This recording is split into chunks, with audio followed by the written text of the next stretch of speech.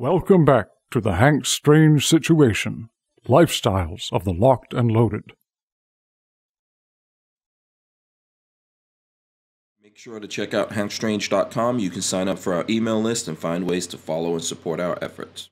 That's all kind of coming back now, right? Now the ATF really wants the ability to make anything that they so deem into um, a receiver or firearm, Right. etc. Right? So that's my way of segueing into this. for sure. So they, it's a tremendous nightmare. And of course, we're talking about ATF attempting to redraw the definition of frame or receiver. Um, there's a lot of other things that are in that rulemaking, uh, Mhm. such as suddenly deciding that suppressors have a frame or receiver. You know, which is Mhm. not necessarily terribly problematic, but it is just odd hmm because nothing really gives them the power to do that. They're and they're. I feel like they're reaching very hard. It seems to me very clear that the ATF as an agency itself, even before the admi- the administration change, was very interesting in clamping down on eighty percent and um, and on uh, pistol braces. Right. Yeah. So we haven't seen them really move on pistol braces yet, but No. this is the eighty percent deal, and hmm they've done this, in my opinion, in the most ham-fisted way that they possibly could have. And like, it's hard for me not to smile because the the way they've gone about with this redefinition is just absolutely pants on head ridiculous. Is that so? Are you smiling because it's a good thing, and as a lawyer, it's a slam dunk to rebuke this stuff, or No, are you I'm just smiling because because it's retarded? It's like, yeah, it's it's, it's this Mhm. is clown world, you know. hmm Like that's that's why I was smiling. It's like, wow, they Mhm. actually went and did it. Yeah. right.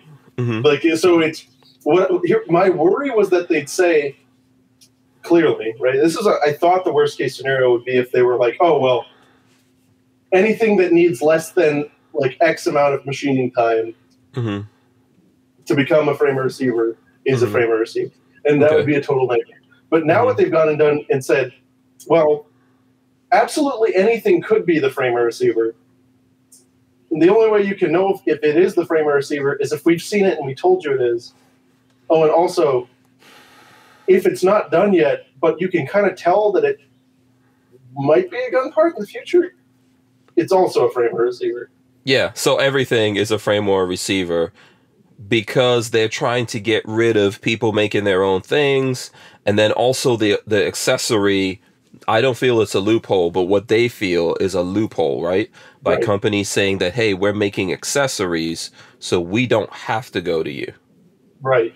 Which And is foreshadowing it's not a what's gonna, huh? It's not a loophole. It's ridiculous. No, it's not. Uh, it's not. I don't. Fi- I don't think it is. said. Yeah. And the thing is, they yeah, they they have the power under the law to interpret terms of the law. hmm So they do have the power to interpret the word frame or receiver. They don't have the power to change it to frame or receiver or uh, any other part that could possibly hold any other part or uh, an incomplete version of that. hmm That is completely beyond the bounds of their power. It's so it's blanket. It's it's leaving zero zero things that are outside of the realm, right?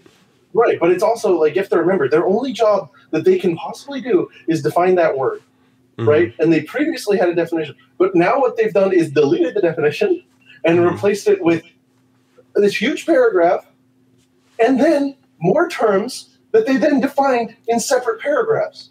Like that's not defining a term; Mhm. that's making a law, and they don't get to do that. hmm Yeah. So the weirdest part of this whole thing for me, and I've I've been looking forward to talking to you about this, is it seems like what they're saying is that people who already have these things, you know, so Biden comes out makes this uh, statement, right? Like we're going after the ghost guns. All right. There's all these ghost guns out there doing bad, horrible, terrible things, destroying the nation. Um, and then, so the ATF puts this out, but in there, did you see the part of it where I think someone said it was on page 21, where it's like, oh, we're not saying people can't make their own guns. So No, and they actually say that multiple times. right. Um, hmm So, what they're trying to do with homemade firearms is one, it's clear that the administration is obsessed with polymer 80s. They're trying to destroy polymer 80. They want to nuke polymer 80. Um, 2 Mhm. they're wanting to go after, as they always do, the most accessible, affordable options, uh, right? That that are Mhm. popular. So they really didn't touch 3D printing. Mhm. Okay, and that that tells you something. And it's either that they, you know, have the bit of wherewithal to to realize that they don't have the power to, um, Mhm. or I don't know, maybe some other reason. I mean, But- so you feel so you feel like um, they didn't really touch. I mean, uh, they did definitely mention 3D printing, right? The only And- thing that it does with respect to 3D printing is Mhm. that I can tell, right? And I'm not Mhm. the ATF, uh, Mhm. but that I can really see is that if a FFL, and they also have this imaginary concern that like FFLs are like transferring all of these like ghost, gun- you know, like well, yeah, transferring all these without ghost guns. serializing them. You're gonna get in trouble. Right. Well, and you don't have to. You're You, you, you don't. You don't have to. Yeah. But Yeah. No, but- What But is that all that noise? What is all that noise, people? All right, it's over. Oh, baby face. Okay, Uh, baby face. Goes. I'm sitting outside his house. okay. yeah, yeah. Sorry about that. Um, yeah, okay, I yeah. mean, how many FFLs have you seen where they just had a bunch of, you know, completed polymer 80s and 3D? They don't. They don't want your guns that you built. No, they're freaked out, and, and also Yeah. it's worth more as a parts kit. So like nobody does this, but yeah. they spend pages explaining that oh we have to do this because there's all of these pawn shops and gun shops that are buying privately made firearms and then reselling them. like, like and they don't know the law. crap. They don't. They don't know. They don't understand that if they did something like that, it would have to be serialized. I mean, they don't. They don't want it. I mean, but you understand what I, I like. I know exactly what you're going to say. You're Yeah. right. If if if I built a gun, because I've seen you say this, I looked at your Right. Fudd Busters about this. Uh, before I get in trouble, I did see you. I did see and hear you, sir. Like if I I could build a gun for myself. If I want to sell it, I could sell it. I don't have to serialize it. Right. But if you know what makes why are they thinking that FFLs want to get into that game? They don't. They're just making it up. Yeah, they Like, don't want to get into that. Game. it's legal to do, but it's Mhm. also legal to sell a gun that was made before 1968, which doesn't have a serial number either. hmm Right, and there's a specific procedure you do. You put NSN in your bound book. Hmm and that's the identifying characteristic. So it really it doesn't make any damn lick of difference. It doesn't at all. But you're right. Most FFLs are Fudds, and they will think that they can't do that, hmm and they and they just won't. I mean, like it's just not a real problem. Mhm. I'm sure it's happened, but they they're making up all this crap to justify. So it's like so that's why we have to hit the entire rule with a hammer because of our imagination. It's basically what they're saying. It, so, so your interpretation is that they're not actually going after the person who who has one already, right? Mhm. I'm just trying to get what what how you see it. I'm getting I'm trying to get some free They're legal advice. to choke them out.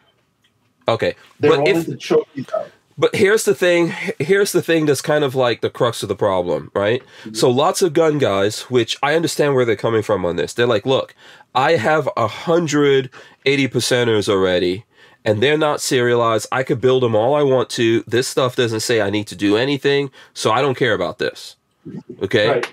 and and because this because this seems to be saying the manufacturers making these going forward have to serialize them and whatever they mm-hmm. have on hand before they sell it they need to serialize it and then obviously as we're talking about here any ffls or any other licensees um, that get this stuff have to serialize them or whatever right? Or if you're a gunsmith um, you have to if you get this and you work on it you have to serialize it. So there's a lot of people feeling like uh, i'm kind of grandfathered in. I'm just going to go right if i don't have it i'll go right now and buy it Right. before this becomes a rule.